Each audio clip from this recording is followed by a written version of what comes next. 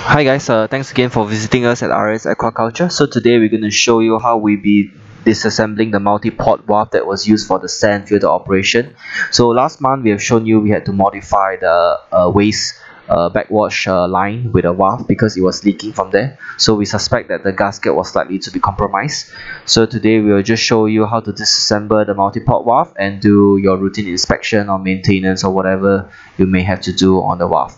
So the first step is to open up the screw and the bolts on the top cover. So you can just remove them with a wrench and a screwdriver. So after removing them the, this is how it looks like so this was the faulty one that we had earlier on. So unfortunately uh, the supplier didn't have the spare we had to buy a whole new one. And since we had a, the old one that was faulty so we just decided to do an in-depth uh, investigation of what actually caused the leak. So on further inspection we see that the, the gasket so the gasket is the whitish uh, stuff that sits on the the bottom part was compromised and this was resulting uh, the backwash line to be leaking on a filtration mode. So this had to be replaced uh, it can be replaced easily and pretty cheaply. So second thing was the top face cover. So this is how you know the top face actually looks like. So by turning onto the knob into different setting it actually changes uh the face so by turning the knob it moves into different location.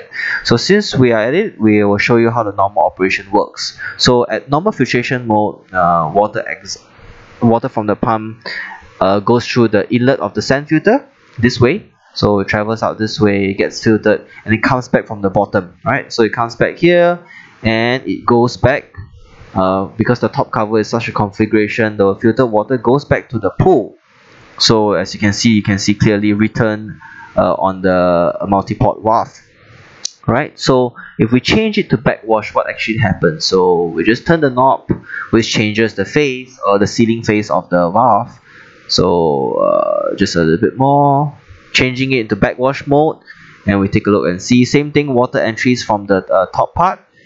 But now the triangular side have actually gone into the outlet of the sand filter which sort of reverse the flow in which uh, the solids that were captured on the inlet side uh, removes on the backwash line.